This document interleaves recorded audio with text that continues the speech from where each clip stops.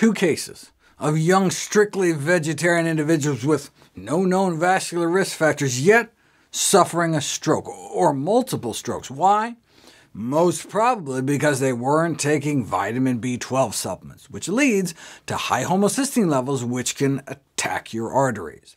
So those eating plant-based failing to supplement may increase one's risk of both heart disease and stroke. Now, uh, vegetarians have so much heart disease risk factor benefit that they're still at lower risk overall, but this may help explain why vegetarians were found to have more stroke. Uh, presumably this disparity would disappear with adequate B12 supplementation, and this benefit would grow even larger. Compared with non-vegetarians, vegetarians enjoy all these other advantages, better cholesterol, uh, blood pressures, blood sugars, and obesity rates, but uh, like, uh, what about that stroke study? And even among studies that show benefits, they're not as pronounced as one might expect, which may be a result of that poor vitamin B12 status. Uh, vitamin B12 deficiency may negate some of the cardiovascular disease prevention benefits of vegetarian diet. So in order to further reduce the risk of cardiovascular disease, vegetarians should be advised to use B12 supplements.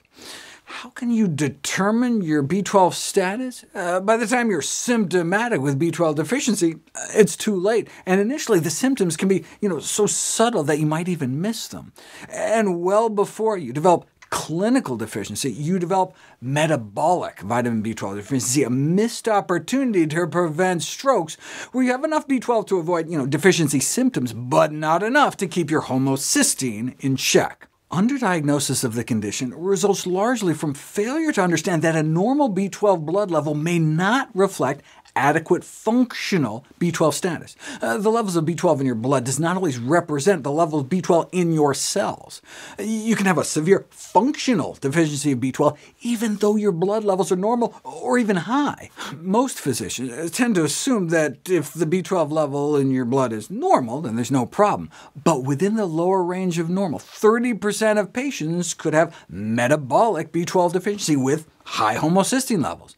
Measuring methylmalonic acid levels, or homocysteine directly, are more accurate reflection of vitamin B12 functional status. Uh, methylmalonic acid can be a simple urine test. Uh, you're looking for uh, less than a value of 4 uh, micrograms per milligram of creatinine.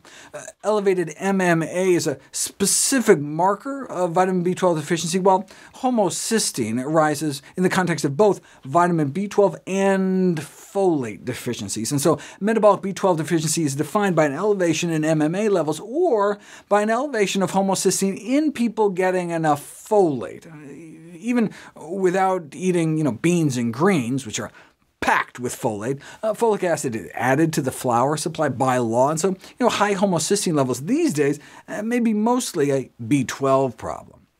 Ideally, you're looking for a homocysteine level in your blood down in the single digits. Right? Uh, measured this way, the prevalence of functional B12 deficiency is dramatically higher than previously assumed, like 10 to 40% of the general population, and more than 40% in vegetarians, and the majority of vegans who aren't scrupulous about getting their B12.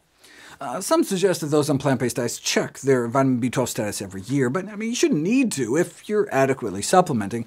And evidently there are rare cases of vitamin B12 deficiency that can't be picked up on any test, so I mean, you better just make sure you're getting enough. Now, if you do get your homocysteine tested, and it's still up in the double digits, even despite B12 supplementation, I do have a suggestion in the final videos of this series, which we'll turn to next.